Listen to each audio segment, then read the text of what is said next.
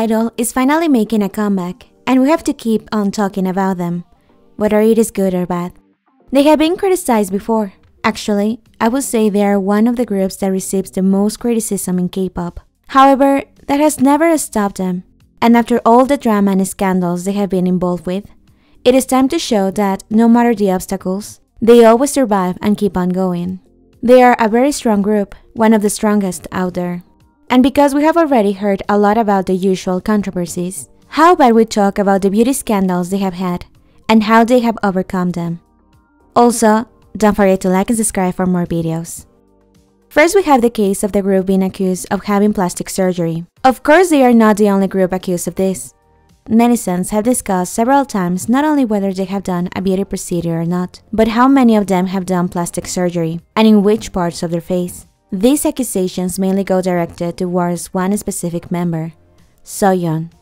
And as expressed before in this channel, there is really nothing wrong with having some beauty procedures, as long as the idol is happy, and it was their own decision. Also, the public should not treat the topic as if it were a big secret or something taboo. Nonetheless, it will continue to be a topic of discussion, and there will continue to be articles about it, and also many articles and comments attacking directly the physical looks of other idols, which, unfortunately, is the case of Soyeon. I would say she has been one of the most criticized idols regarding her looks. Since she was in Produce 101, the comments were directed towards saying that she did not cover the expected Korean beauty standards, there were even comments saying that she shouldn't be in the top trainees because her looks were not good enough to be an idol. And it is very brave and amazing that she did not only accepted all that criticism, but she owned it and used it in her favor. When she competed in Unpretty Rapstar, she didn't shy away from mentioning that she may be considered ugly by some, but her talent is what counts the most. She did an incredible job in both shows, and people obviously got interested on her. However, the remarks about her looks never stopped. After debuting in Idol, the comments do not only state that she doesn't have the preferred beauty standards, but they also mention that she probably has done some plastic surgery or other beauty procedures. The main problem with this kind of comments or articles is that normally they are shown in a derogatory manner. There have been netizens commenting about her having a botched plastic surgery or having too many procedures that make her look totally different to how she once looked. Even when saying the idol had a glow up, there are always comments saying that it is all because of plastic surgery and other beauty procedures. The whole ugly stigma has always been present, even now, but that doesn't stop her from being one of the most confident idols with incredible talent, and that is just simply admirable.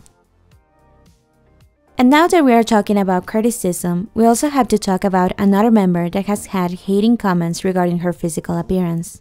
Shuhua at several points had received several comments about her weight, even if she is not really that different from the rest of the members, but her body form is softer and rounder. The comments about an idol being not as thin as they are supposed to be is normal, but it shouldn't be. At least for Shuhua, there has been instances where she has clearly shown that she has been affected by those comments. And she's also one of the idols that has shared her diet, which in reality wasn't as strict or outrageous as the diets of other idols but nonetheless show that she's conscious about her physique. Due to all of this, it was really interesting to see her clap back at her haters and defend herself in real life. To all the comments, she just responded saying, I feel sorry for you. How can you live so pathetically? It's tiring to curse someone out. For me, hitting someone and cursing them out is so tiring. How do you do it? And then ended up asking the person to leave the stream. And she hasn't only expressed her discontent once, but several times and in other platforms just like Weibo.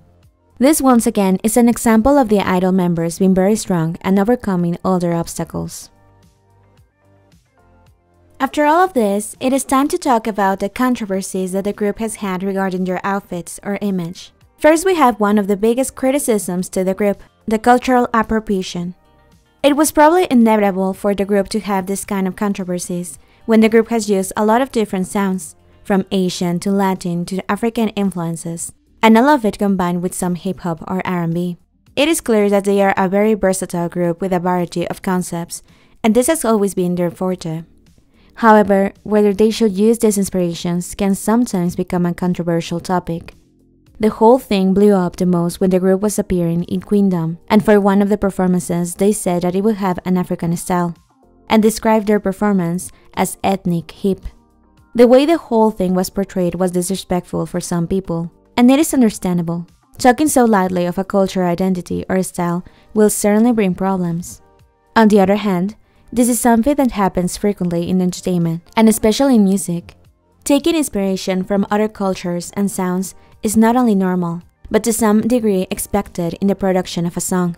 And for K-pop, which performance is also a big part of the music, of course inspiration will have to be represented there as well.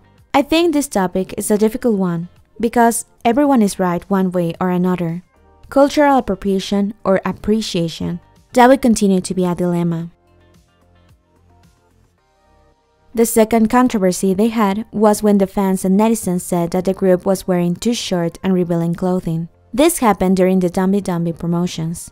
In a video where the group was doing the song Relay, the fans said that the outfits given by the stylist were too revealing and that they should have taken into account that in the choreography they move their legs and hips a lot and with those clothes, their safe shirts would show constantly.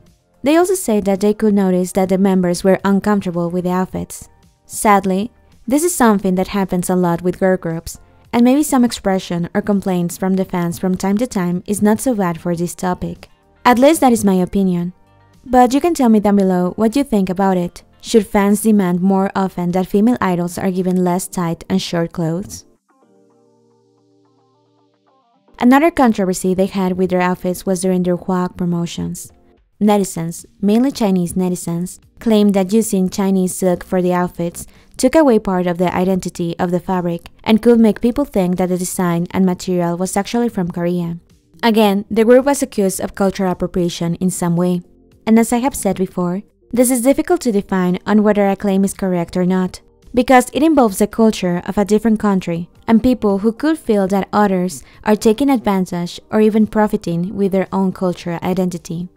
And in fashion, this has happened before, with big clothing brands using designs that are certainly part of a culture and country identity, and almost appropriate it, or use it for their own gain. In the end, you decide, is this correct or not? For the final beauty scandal, we will have to mention the series of comments and articles that appear whenever an idol changes their hair in a dramatic or interesting way. For Idol, this happened when Miyeon got the Hime cut, and Yuqi had a short haircut. Some people liked it, and some others hated it. Overall, I think it's important for idols to experiment with their looks and hair, although certainly some of those will be really difficult to pull off by any other person. But if you want to check more, you can watch this video, where I talk a bit more about the Hime cut and all the other haircuts that are not for everyone. For now, hope you liked the video and don't forget to like and subscribe for more.